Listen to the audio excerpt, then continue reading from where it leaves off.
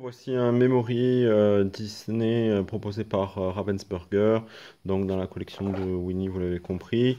Un grand classique, puisque Ravensburger est spécialiste de ce type de produit.